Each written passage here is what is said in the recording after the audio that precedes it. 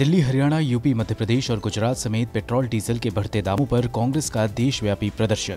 राहुल गांधी का पीएम पर हमला, कहा 22 बार दाम बढ़ाकर तोड़ी आम आदमी की कमर, सरकार तुरंत घटाए एक्साइज दर।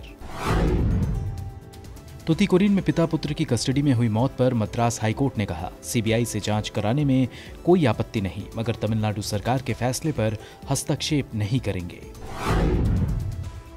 पाकिस्तान के कराची में स्टॉक एक्सचेंज की बिल्डिंग पर आतंकी हमले की बलूच लिबरेशन आर्मी ने ली ज़िम्मेदारी। हमले में चारों आतंकी ढेर, पाँच नागरिकों की भी हुई मौत। 24 घंटे में फिर कोरोना के तकरीबन बीस हज़ार मामले आए और 380 मौतें। कुल संक्रमित मरीजों की संख्या साढ़े पाँच लाख के करीब पहुँची। भारत चीन सीमा विवाद के बीच राजस्थान के सीएम अशोक गहलोत का पीएम मोदी पर हमला। कहा, मोदी पहले प्रधानमंत्री जिनके बयान का चीनी सरकार और मीडिया ने स्वागत किया।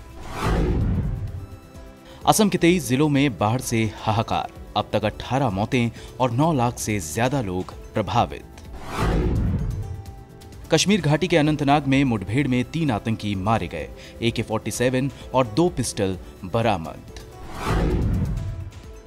लालजी टंडन की तबीयत खराब होने पर यूपी की राज्यपाल आनंदीबेन पटेल को मध्य प्रदेश के राज्यपाल का प्रभार मिला। और संयुक्त अरब अमीरात ने पाकिस्तान से आने वाली सभी उड़ानें रद्द की, कहा सभी यात्रियों की कोरोना जाँच का इंतज़ाम करे पाकिस्तान।